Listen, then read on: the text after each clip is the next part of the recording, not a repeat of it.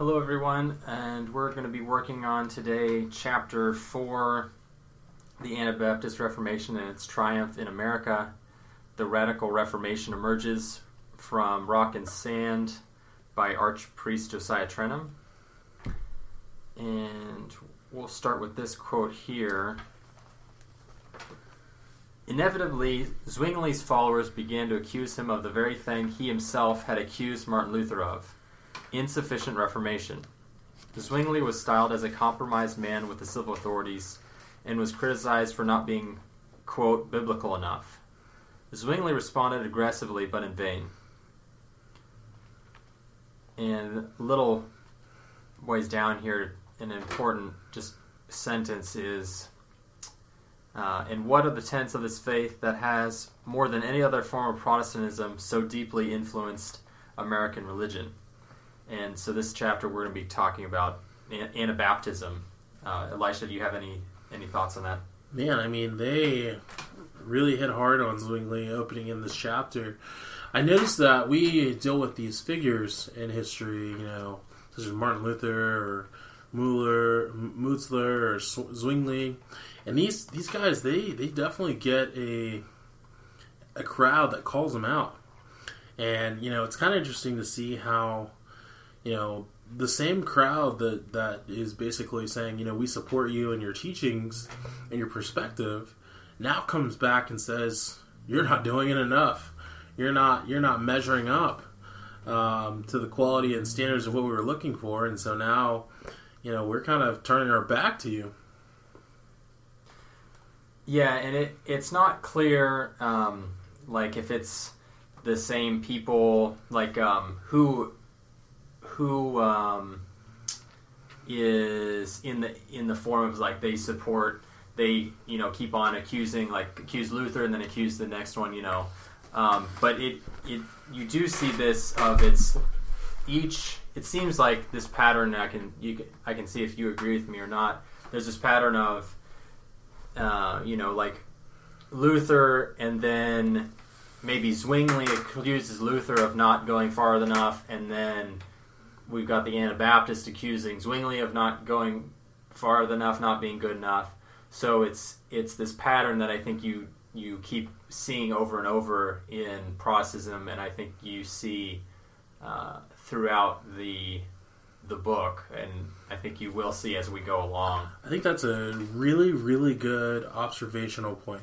You know, I just wanted to take a moment and think about the Old Testament and Israel, where you know they were having some really um, heart problems, you know, issues with living up to being a holy people, and their solution they thought was is we need a king, we need a king, and they kept telling God how much they needed a king, and the king came around, and then they ended up that king fell, and God gave him another king, even though he kept telling him like, you know, I am the king. You know, I am I'm the one you need to solve these these heart problems.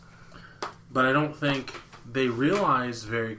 I don't think the, the people there and some of these people in this these times realize that the real solution to what they're looking for is God, and you're not going to find it in into in a man-made character. You know, I, I mean, I don't know. I just see a, a brief correlation. So you kind of see maybe what you might be critiquing, at least some of the Protestants, as being too driven by being like certain personal focused on certain personalities. Uh, maybe personality, but really just the the idea that in order to really get to the root of truth, we need someone there to interpret and to be glamorous in a way, to be a little bit more polished. When you know, I, I don't I don't know about you, but I think God's word was given to us so that all people, you know, whether you are the most educated or maybe you're just new to this, can receive His word. Mm-hmm. And not saying that any of these leaders don't understand God's word or, or don't conceptually get it, but I think their audience doesn't realize what their position really is. Is that their leader's position is, is, is to kind of chime in and say affirm or or to correct a little bit of, of perspective. And so I think in this case of Zwingli, I think his his audience really is saying, look, we want more of what you've already been giving us, but we're not satisfied. Right. So the uh, what do you think of like the whole this continuing um, habit of different each each successive person or movement kind of being critical of the Protestant remo- movement that they're that kind of comes before them. What what do you think of that? I guess when we when we start to kind of it's very easy sorry it's very easy when you're looking at this to zoom all the way in. We're zoomed in. So I, I often think that we if we were living in this time it'd be really hard to zoom out zoom out to the big picture. The big picture of what redemption looks like the big picture of how to handle some of the social issues or cultural issues of those times. You know when you're in the thick of it or the or in the middle of life where things are going and happening really, really quickly, you don't see how, in some cases, you're repeating history or you're you're in the cycle of trying to solve something but trying to do it the same way. Um, there was an analogy that was told to me when I was younger.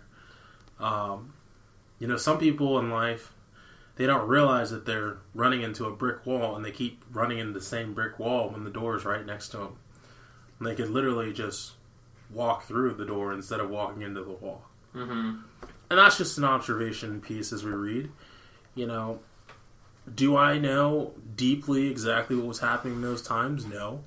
But based off the author and the observations of what we do know, we can definitely see that some of these leaders, prestigious leaders, maybe in a way, um, definitely suffered from people misunderstanding what their position is. Yeah, so uh, you, and you can tell me if you think this is right or not. You think maybe there there's this kind of tradition of being overly critical, maybe the too revolutionary, too trying to keep on progressive because it's a very in a way, in a certain sense, it's very progressive because it's like you keep on moving forward in terms of criticizing the past. Um, I mean, I think you're headed in the right direction on that path because even to this date, you know, we always get really, really excited of something new. You know, yeah. what's the newest news? Have you ever noticed that sometimes the newest news that you just heard about is sometimes maybe more than 24 hours old? So, what is new news? You know, I mean, I think we just chase that shiny object, and I don't think that's something new in history. Yeah. So another passage here, which is interesting.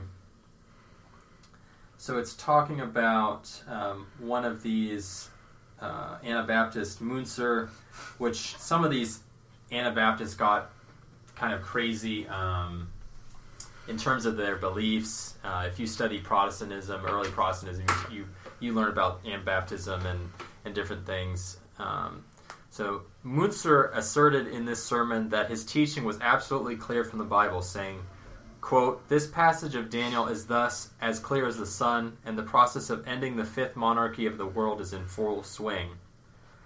Bold absolute claims on the basis of novel interpretations of apocalyptic passages of Scripture became common fare for Protestant preachers and have been heard from their pulpits for 500 years. This has been especially true since the middle of the 19th century when a great interest in prophecy and eschatology arose in Protestant circles. Numerous invented and detailed schemes of eschatological drama have been articulated, including the pre, mid, and post tribulation rapture theories, the thousand year earthly millennium, the rebuilding of the Jewish temple, the return of the Jews to the Holy Land, and numerous other details that have spawned the creation of entire Protestant denominations and influenced American politics and foreign policy and then just a, um, the footnote, which is from this uh, section here. Baylor, 1991. Um, skipping over here, it should be noted that eschatological speculation and overconfidence in prophetical interpretation was something quite consistently apparent in the work of most of the reformers. Luther was certain that Daniel 2 Daniel referred to the Turks. Hmm. Very interesting. So we see here this wading into interpreting very uh, difficult passages of scripture, like Daniel, like um, there was some some talk of here of Revelation as well. I know in the the I believe in all Eastern Orthodox churches, Revelation is not used in Bible readings because it's considered too complicated. It's still you know it's still in the like the Orthodox Study Bible, but it's not used in readings during service because of how complicated it is. Um, so that's interesting. So we see this we see this um, these tendencies early on. Yeah, I think uh,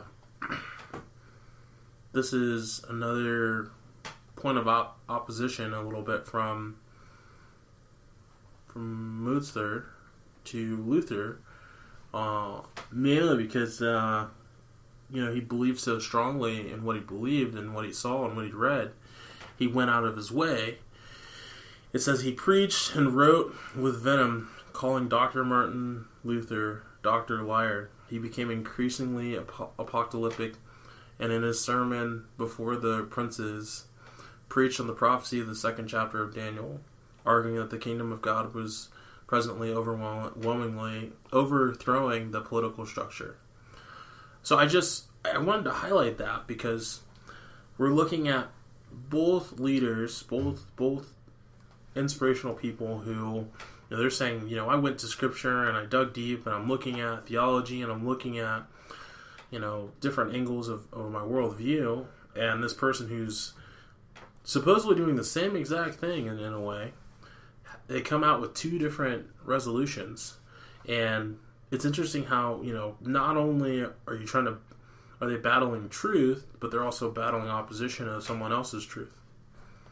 Yeah, I'm glad you mentioned that because it says, you know, in the beginning of that passage that I just read, it's talking about how obvious he's saying it is, even though I think a lot of Daniel and Revelation are complicated. Yeah, yeah, I And, yeah, go ahead. yeah I noticed you you did make a comment about Revelation and and the challenges that some denominationals face with interpreting what's going on in that chapter. Um, you know, I think because of there are rules or guidelines that that play in hermeneutics, uh, you're definitely going to get an out out uh, an outcome that's a little bit different depending on who is reading it and how and how they're reading it.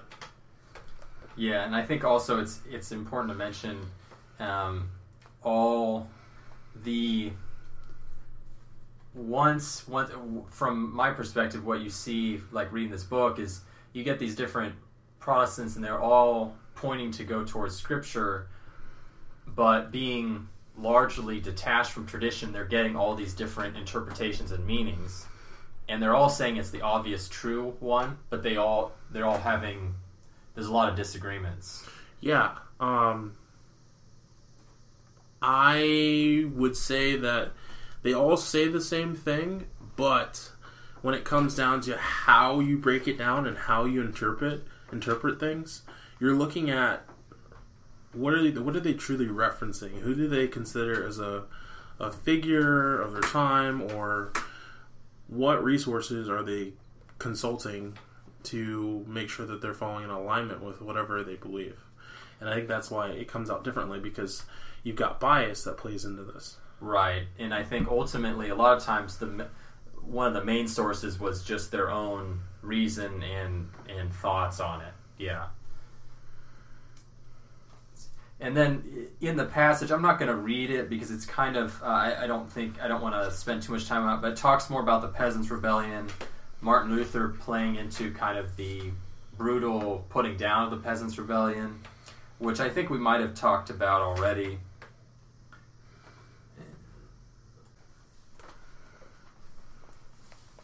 This passage here is talking about some of the craziness.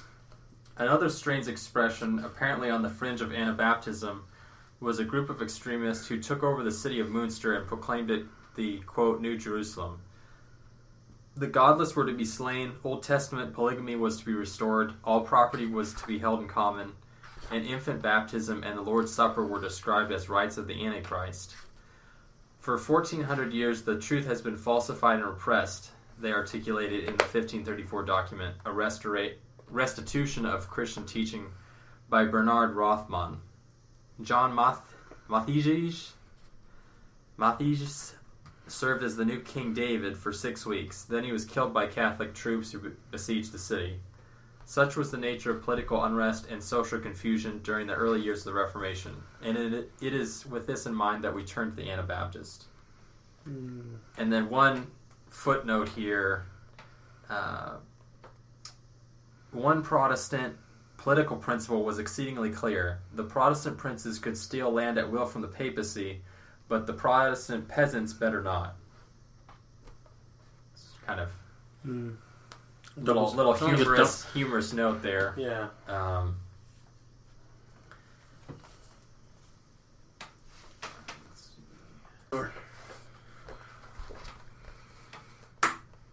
passage here highlighting baptism and the Eucharist. Um, two passages. Significantly, Hubmeier also affirms that correct baptism has been, quote, lost for a thousand years, that true Christian baptism was of adult believers only, and that infant baptism is, quote, no baptism, but rather idolatry, because the child knows neither good nor evil. This affirmation itself denied the baptism of virtually every Christian in the Western world at this time. In the Catechism, this is a little just shortly farther on, Hubmaier also maintained the bread and wine of the Eucharist are nothing but memorial symbols, and explicitly asserted that Christ only instituted the sacra- sacraments of baptism and Eucharist, both of which are merely outward signs. Mhm. Big, big, big uh,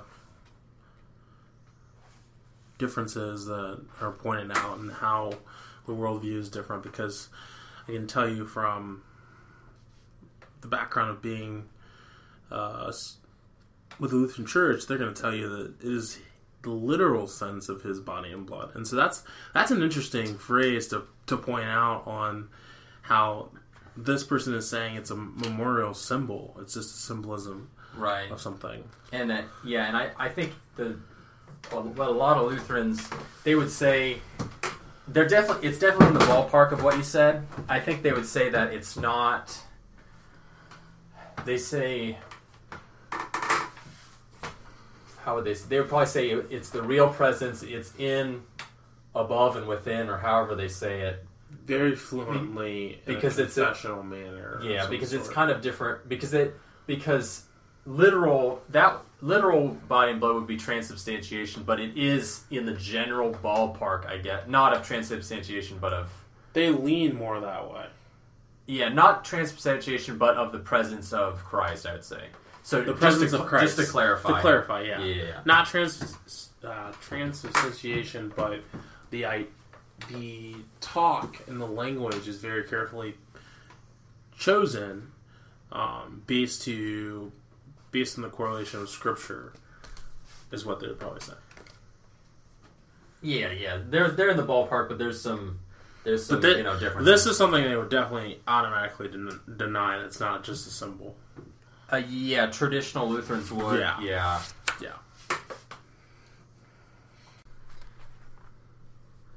then the chapter talks about Menno Simons and some other things. Uh, one passage here it says, "What sets the radical Reformation apart from what is called in modern times the magisterial Reformation is the fact that these believers not only were not supported by political entities, but most ex- eschewed politics on principle."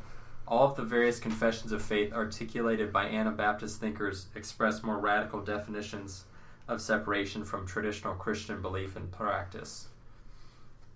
Hmm.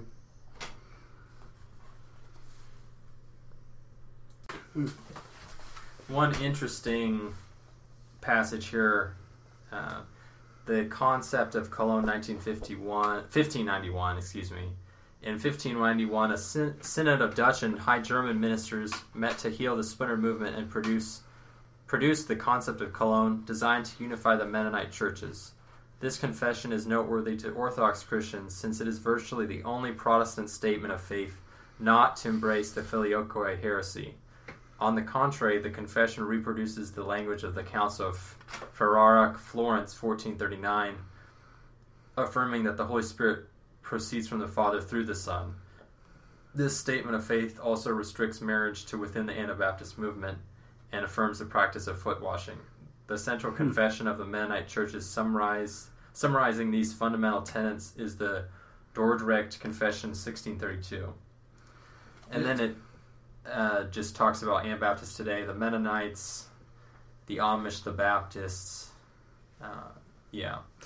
It's interesting how there needed to be healing, you know, because they were having some division. It looks like, and this is what they concluded in how like history, man. If you miss out on some of these events, you don't realize how the language and the culture of that denomination or, or people group uh, shifts. And so, in, it says, you know, in that in that passage you just read in fourteen thirty nine, this shift to affirming the Holy Spirit proceeds from the Father and through the Son and prior to that, it wasn't so prevalently spoken about or accepted. So it's interesting.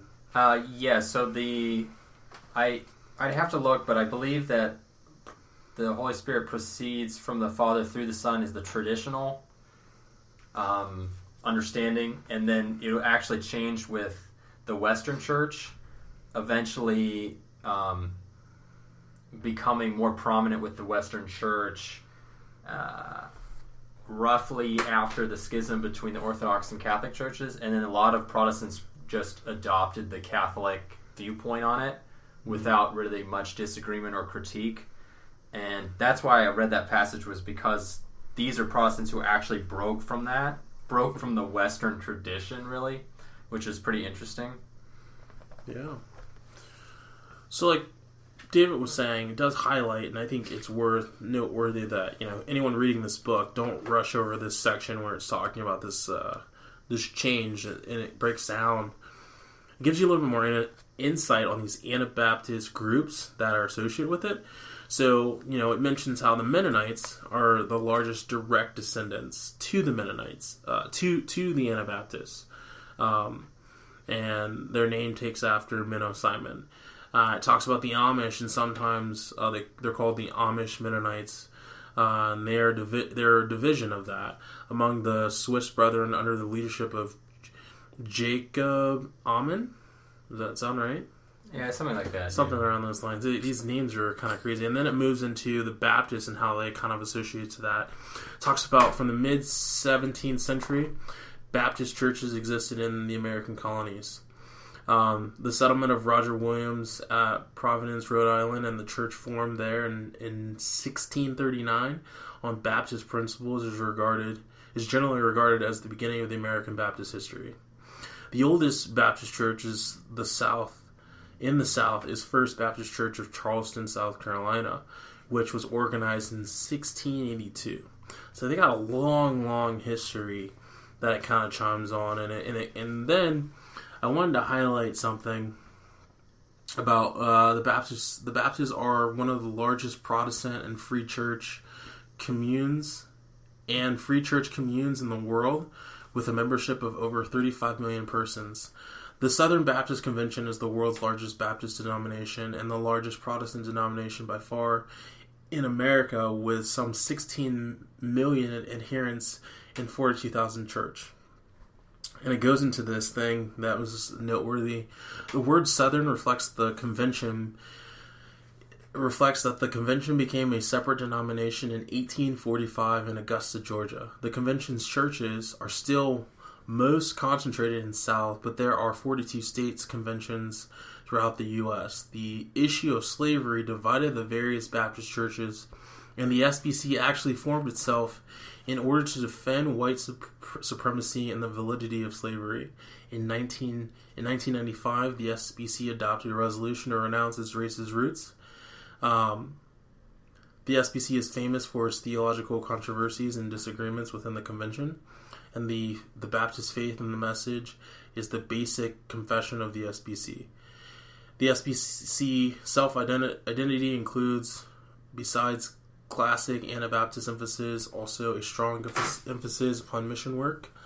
Um, and I think it was just interesting to see that, like, not only are, are these this group facing a lot of different changes. Like the fact that they had to make a, a stand in a clear, um, defining moment of defending in order to defend themselves from white supremacy and the validity of slavery. That that's kind of crazy that you had to form within that. So interesting how culture affects affects these these changes.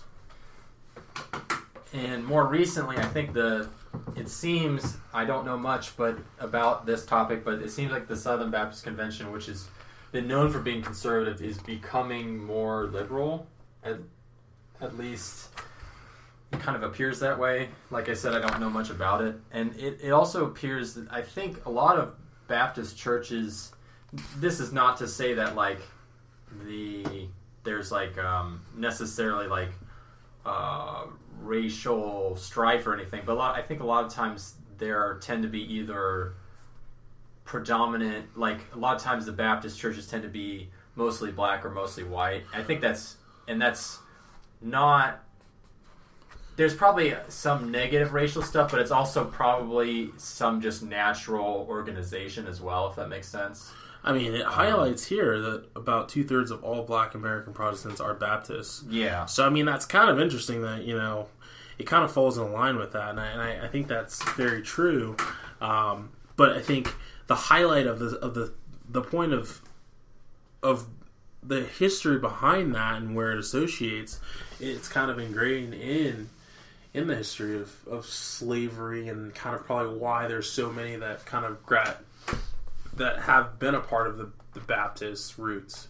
You know, it's just bringing that observation. Like there were things in history that were happening, um, and when the church was developing in this in the area of this Baptist, that it's not surprising that there are a lot of people who are black that are um, that are in the Baptist Protestant area. Mm-hmm. And it says, uh, let's see. Protestant evangelicals who share many fundamental Anabaptist tenets, whether or not they belong to a denomination formerly called Baptist, number approximately 70 million persons in America. It's quite a few people. Yeah. Which means there's a lot of people who have some kind of faith in America. It just varies depending on who you talk to.